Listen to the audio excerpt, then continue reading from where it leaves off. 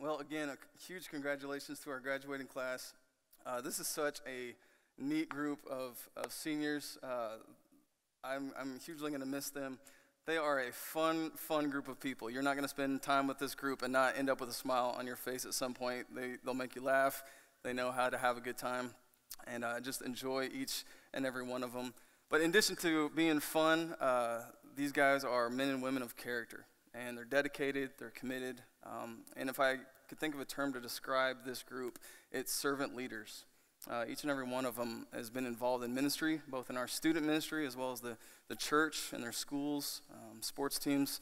Uh, they're just a, a, neat, neat group of, of folks, and I'm excited for what God's going to do in and through you guys um, from this point on. So, congratulations to each one of you guys. Uh, my name's Adam. I'm the student pastor here at Covenant. Uh, the gal who prayed uh, over is Erin Allen. She's the associate director of student ministries. And uh, my, my sentiment indicator is going off the charts this morning for a couple of reasons. Uh, I look at this class and it just kind of blows my mind.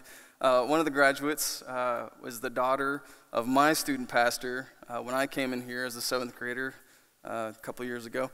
And um, another one of these graduates is the daughter of the student pastor who I got to work for when I first started 10 years ago.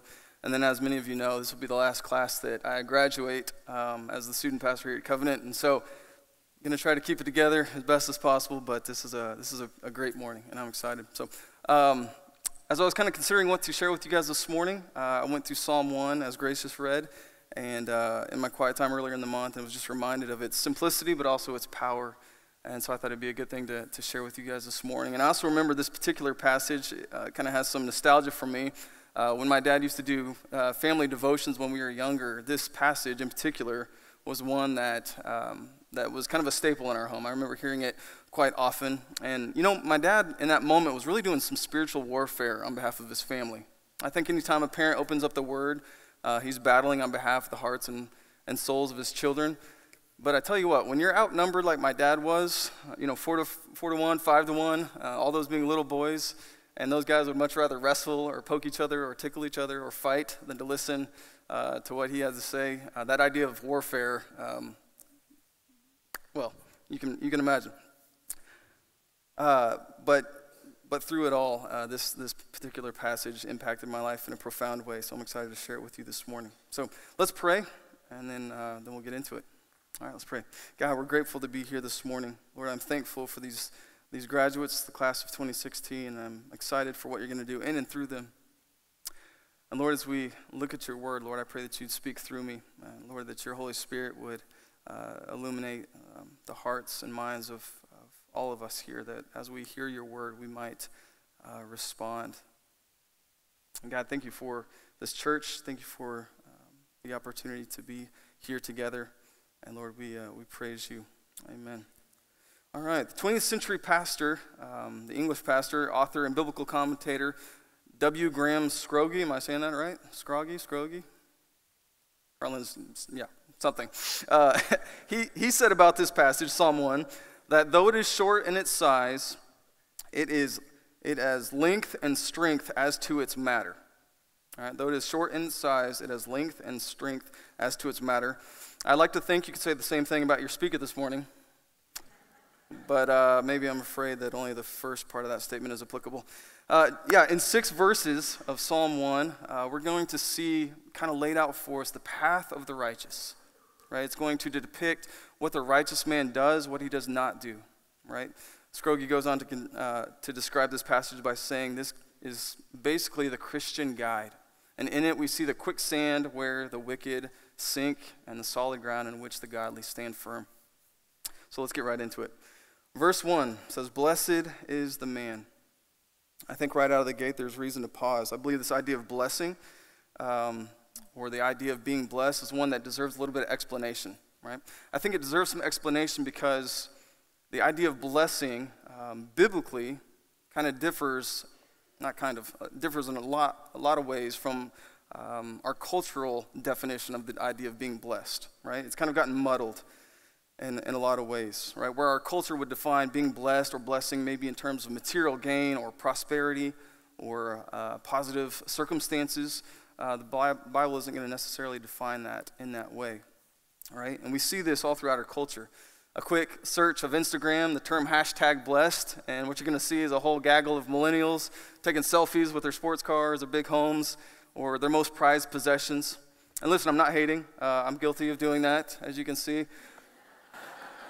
That's me and my most prized possession, my 2002 minivan. And you think I'm joking, I still can love that thing. uh, I'm a minivan guy. That thing can hold a drum set, three kids, and like six cups. It's awesome. So you can keep your Corvette. I'm a minivan guy. And yes, I turned in my man card. So we're good. But the idea of blessing, so the point is that we've, we've turned this idea of blessing of talking about, well, oh man, I got this new thing, or I experienced this, this great circumstance where things are really going positive for me. I'm, I'm blessed. And the Bible is going to um, differ slightly in, what it means. So, what is blessing? What does it mean to be blessed? And the word here could be simply defined as fortunate or happy, but is under the idea that happiness is found in the fact that we have a sovereign, loving God who providentially cares for our lives, allowing things into our life that are going to push us more towards Him, that are going to shape us and mold us into the people He wants us to be. It's a condition, not an action. Does that make sense? So to be blessed means that you are under the sovereign care of a loving Father who desires that you are drawn to His heart and live according to His principles, because that is the best thing for you. This makes sense of the Sermon on the Mount, where Jesus says, uh, kind of semi paradoxical statements like, Blessed are the persecuted, right? Or blessed are those who mourn. Those aren't, those aren't circumstances in which we would call desirable necessarily, but the people who are persecuted because of Jesus, the people who are mourning because of their faith, are comforted by God, right? Or they get God in the end. This is the idea of being blessed, that we are pushed in a Godward direction because of the things that God allows in our life, because He cares about us. And He knows that the best thing for us is that we ultimately get God, right? So that's just the first word of this passage, blessed. We got to move on. Uh, got to pick up the pace. All right. So the second word is is. Is is a linking verb. It can. No, I'm kidding. The rest of this verse uh, goes on to say, "Blessed is the man who walks not in the counsel of the wicked, nor stands in the way of sinners, nor sits in the seat of scoffers. One commentator acknowledged that this first verse is kind of made up of a triple triplet, right? So in that we see three different components, three different ways walks, standing, sitting, counsel, way, seat, and that third one being the wicked, sinners, and scoffers. In this, we see a progression that once a person becomes involved in sin, it is a downward spiral away from the heart of God. The one who commits their life to sin, who rejects God, there's a downward spiral away from his heart and his, uh, his desire for all people. These are fundamental, decisive departures from God's ways, and the godless person is choosing and carrying out their allegiance, and the righteous person has nothing to do with it. So we're going to describe the righteous person first in the negative. What does a righteous person not do? Well, it says he does not walk in the counsel of the wicked. Okay, this idea, walking in the counsel of the wicked, has to do with thinking or your thought life. The godly man, the happy man, lives his life according to the instruction of God's word, right? The principles found in the scriptures. He adheres to them, he lives according to them. And uh, we'll talk a little bit more about that in a second. But I think this is so significant that it says the blessed man, the righteous man, doesn't walk in the counsel of the wicked because we live in a day and age where we are bombarded by counsel, right? Whether it be television or radio or movies or social media, we are, we are given counsel and suggestions on how to walk, how to live, what is truth, what is right, what we should give our heart to on a daily basis, often unsolicited, right? But the wise person is able to acknowledge what is truth and what is false according to God's word. Uh, I was reminded of a, an analogy when I was younger. I was, I was uh, taught this, and I think it applies that those responsible for catching counterfeit currency, right, the FBI or whoever might be, um, what they do is they familiarize themselves so much with the authentic that they can immediately recognize a fake, right? They don't, they don't try to figure out all the fakes or figure out if it's fake simply by knowing that. They know the, the real thing. And it becomes immediately obvious what's fake. And I think that's what's true here is the man of God, the righteous man, the blessed man, knows God's word and holds fast to it so that when false things are said or communicated, he's able to reject those. All right, so that's the first one walks not in the counsel of the wicked. The second one nor stands in the way of sinners. This has to do with the idea of behavior or behaving. If an Oklahoman were to write this line, he would ask the question, Who are you hitching your wagon to? Right? Who are you hitching your wagon to? The Bible speaks here and numerous other places uh, the idea that we are profoundly shaped by the people that we allow in our life, right? Both for the good, for the bad, right? I speak to my students all the time about this. Who are the people you are allowing to influence your life? Who are the people that you are surrounding yourself by that have a voice that's going to help shape who you are? Are they people that are going to spur you on towards righteousness, loving God, knowing Him, walking in His ways, or are they people who are going to draw you away from that? And that is applicable for the three year old up through the 100 year old, right? That we all are affected, all shaped by the people that we surround ourselves, right? Now, this isn't a call towards insulating ourselves from the outside world or non believers. I think the Gospels are pretty clear that we are to go and shine light into the world. But this has to do with the idea of who are you allowing to have a voice into your heart, into your mind, into your life that's going to shape who you are. The next one, the last one of the triplets. We looked at we looked at thinking, we looked at behaving. Um, this last one, uh, nor sits in the seat of scoffers. This has to do with the idea of belonging, right, or allegiance. This is kind of the climax of this downward spiral of the sinner. The scoffer is the one who is farthest from the heart of God. Right? The scoffer not only relishes in his sin, but he scoffs at the idea of needing a savior. He scoffs at the idea of needing to repent or be made right. Thinks he's right in and of himself. The happy man, the righteous man, is keenly aware of his own sin and his need to be forgiven and has a steady diet of repentance as part of his spiritual daily life. Okay, so that's the first three. The blessed man, or uh, blessed is the man who walks not in the counsel of the wicked, nor stands in the way of sinners, nor sits in the seat of scoffers. It's going to switch to the positive in verse 2. It says, But his delight is in the law of the Lord, and on this law he meditates both day and night. So, how does a man, how does a person not walk in the counsel of the wicked, or stand in the way of sinners, or sit in the seat of scoffers? Well, he commits his life once again to God's word, right? The righteous man, the happy man, is a Bible man, right? Person does this by committing to God's word, knowing its truth, and giving his heart and his soul to God's word. The scriptures are the revealed will of God, the counsel of the creator of the universe. Yep. And the righteous man gives his heart to those and rejects fundamentally anything else from this world. Uh, one of my favorite preachers once said this quote. He said, "The Bible will keep you away from sin, and sin will keep you away from the Bible." Right? The Bible will keep you away from sin, and sin will keep you away from the Bible. You guys remember when Carlin said that? I think that was a powerful, powerful statement and a, a truth that, that is extremely uh, applicable. He says he meditates on this truth day and night. This idea that whatever shapes your thinking, whatever um, you ponder and consider, it's going to eventually shape your life, right? Whatever we kind of give our mind to, it's going to shape how we live out and how we behave. Uh, in this passage, as well as in Joshua 8 and other places in Scripture, uh, we see that the godly life is centered around God's Word and a commitment to it. This idea of meditation is not emptying one's mind, right? Like we hear about in other world religions. It's not um, trying to find Zen or Nirvana or whatever but rather it is a, a deep pondering, a deep thinking about. It's the picture of going to a well that never runs dry and continuing to draw, knowing that you can continue, no matter how many times you dip your bucket, continue to pull something out of it. The scriptures are inexhaustible when it comes to their application to our lives. So there's a reason to continue to go through them always.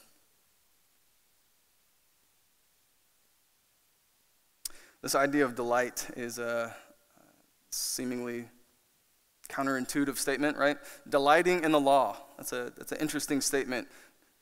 Often people look at the scriptures and they see it as a rule book, right? They see it as constricting or oppressive, right? do's and don'ts. Things are going to keep me from doing the things that I want to do. But the righteous man, the godly man, that doesn't see it so much as a restriction as, as much as it is a, a benefit to the life of the believer, right? The wise person recognizes that the that the Bible will spur them on towards righteousness it's going to lead to protection, preservation, prosperity, security, and vitality. I've got to see this play out in kind of a funny way in my, my home. Uh, my wife and mine, my, my two children, we just moved in with our in laws. Um, and they have a, a, beautiful home. It's got two stories and a, a grand staircase, which the staircase um, has become the new favorite play toy of my two toddlers, uh, which isn't good. And uh, one day, um, I'm going to blame myself here. Uh, we kind of got mixed up on our coverage, and Claire got away from us, and we heard the thump, thump, thump, thump, thump, thump, right? And the screams that followed. And sure enough, Claire had taken a tumble down the stairs. She's fine. And I know what you're thinking man, that's bad parenting.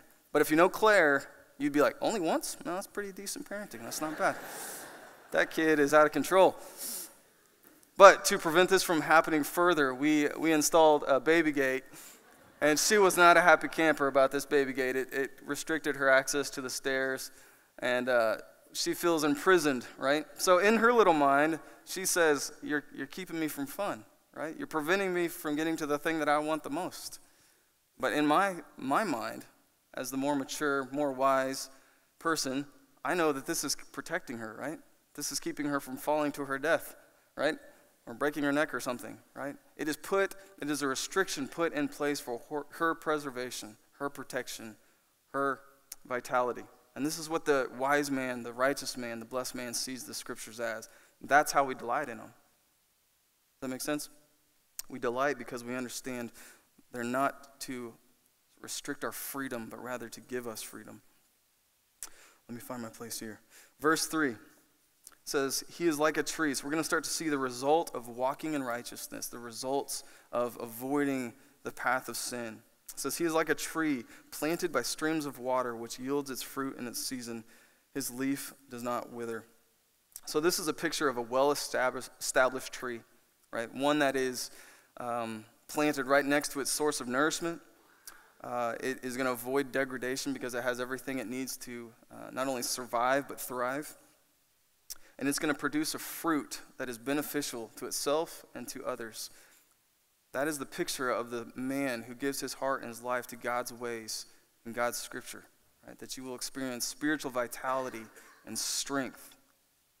That you will be able to produce a godly fruit that is beneficial not only for yourself but for others for your church.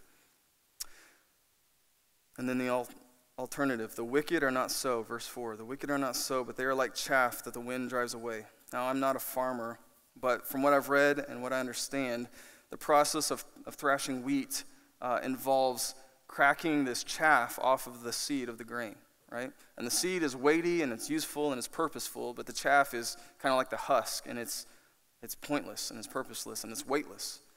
And then what the farmer would do is on a windy day, he would gather this and he would break the two apart. And then from an elevated position, he would toss the two into the air, right? And the weighty, important, significant seed would fall back to the earth to be gathered and used, while the chaff would be carried by the wind, pointless, scattered, never to be used again. Right? This is the picture of futility, right? The futile life without God. And it is the picture of the wicked who are separated from their Creator. Verse 5. With that picture in mind, it says, um, Therefore the wicked will not stand in the judgment, nor sinners in the congregation of the righteous. This is a sombering reminder that those who are not righteous have no leg to stand on when they stand before a holy God. They have no defense. There is a day coming when the saints and the sinners will be separated, and the sinner has no place among God's people. Right? A heavy reality. Verse 6 says, The Lord knows the way of the righteous, but the way of the wicked will perish. And We'll kind of start closing out with this. This idea of knowing that the Lord knows the way of the righteous. This isn't a knowledge necessarily.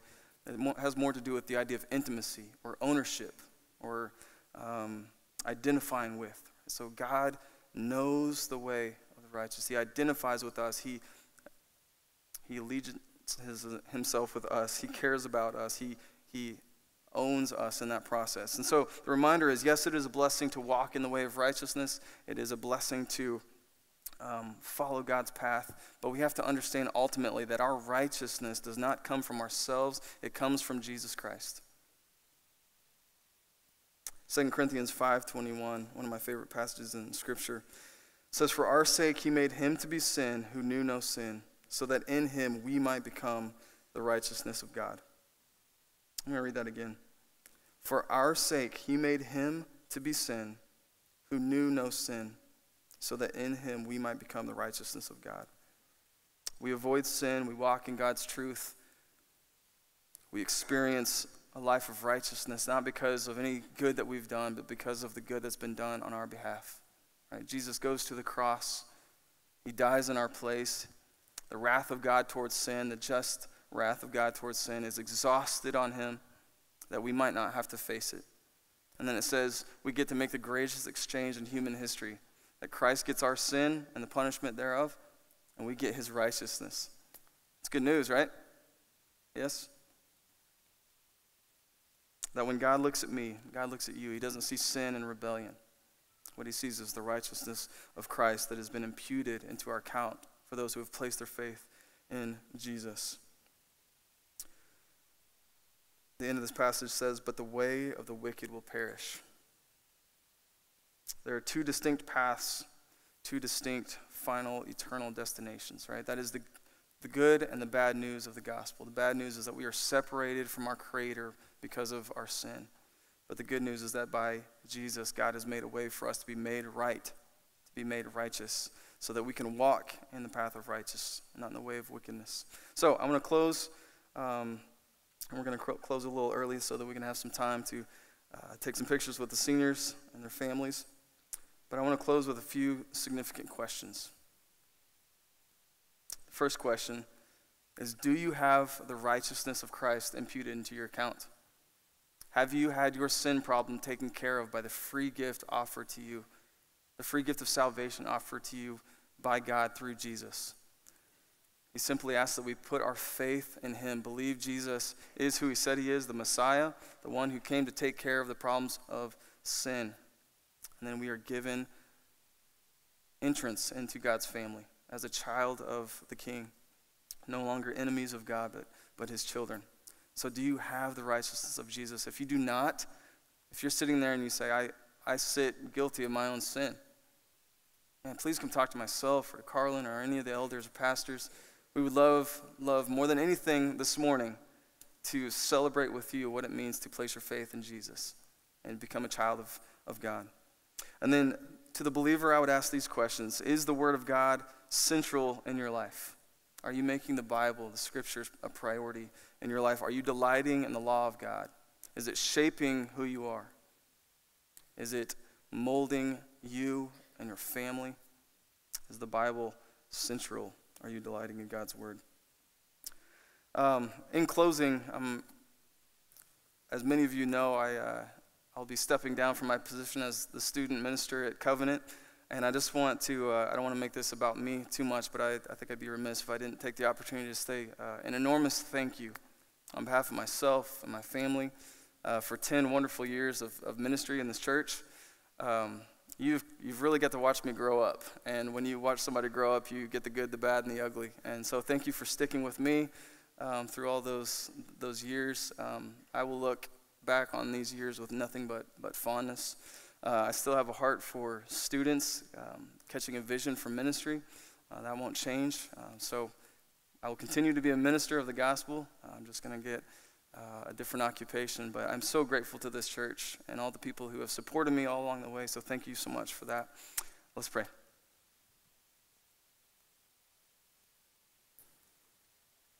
God, we are grateful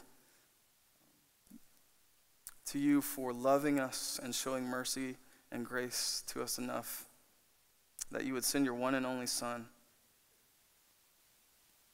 that those who might believe in him would not perish but have eternal life. Thank you for imputing the righteousness of Christ into our account when we did not deserve it. So that when you see us, you don't see our sin and our shame and our, our guilt, but rather you see the righteousness, the purity of Jesus who took our place.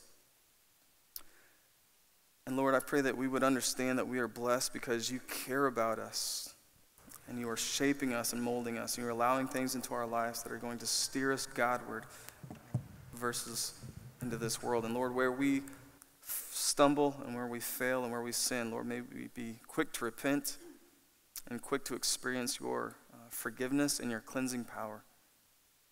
God, thank you so much for your grace in our life. Lord, I pray that you would establish each and every person in this room like a tree because they center their lives around your word. They center their lives around the truth of the scriptures, and they experience um, the fruit that comes from that. We thank you for your love for us. In him I pray. Amen.